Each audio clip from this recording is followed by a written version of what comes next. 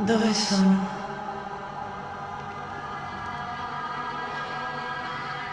Che cosa è successo?